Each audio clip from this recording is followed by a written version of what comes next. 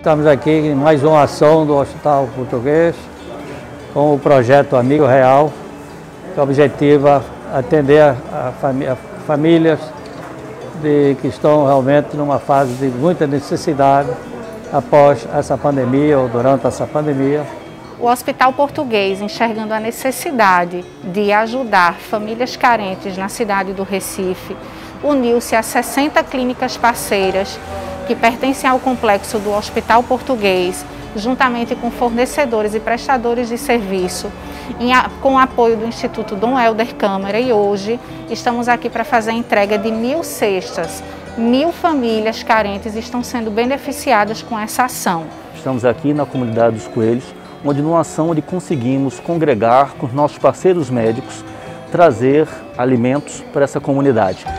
Não é nenhum favor, é nada mais do que uma obrigação da nossa instituição estarmos inseridos nessas ações sociais. Muito obrigado a todos que cooperaram com essa ação. O Hospital Português para chegar até as comunidades do seu entorno que precisam da sua ação, precisam da atenção e, sobretudo, da saúde que nós podemos proporcionar. Alimento e saúde. É o Hospital Português seguindo os caminhos e o exemplo de Dom Helder para chegar até o povo de Deus.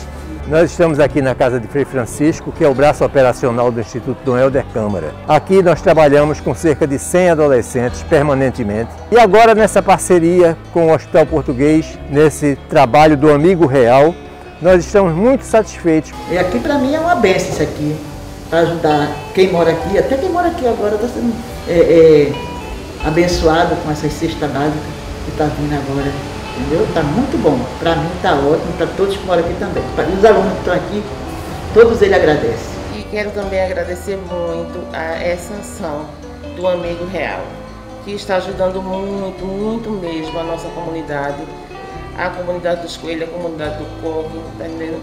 Com essa, com essa cesta básica onde tem muitos aqui que precisam muito. A Casa da Esperança existe há 22 anos.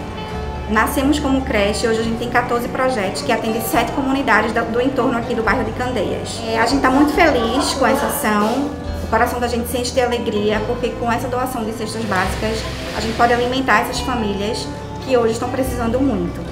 Eu quero agradecer muito, muito mesmo, de coração, porque é, esse carinho de poder doar, de você poder se doar, entendeu? É muito importante para a gente, para a gente que recebe. E a gente entende e agradece muito o carinho de vocês.